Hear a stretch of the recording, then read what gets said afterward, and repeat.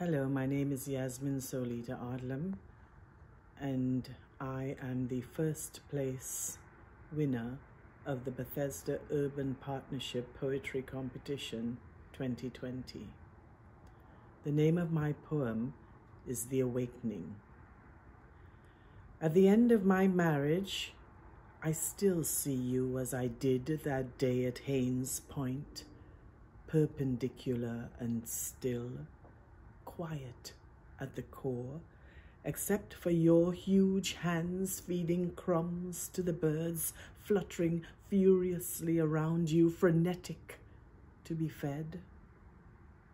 And you took your time, no matter how hard they flapped the air around you with their urgency.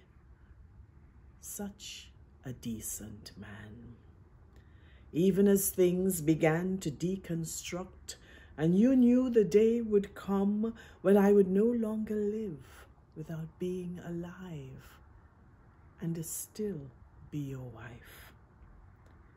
In the meantime, you withstood as I wandered through forks in the path, living in parallels and paradoxes you never understood. Such a dutiful man wood solid in the wind and whimsy as I unwind from you, hankering for intangibles your open hand could never give. Thank you.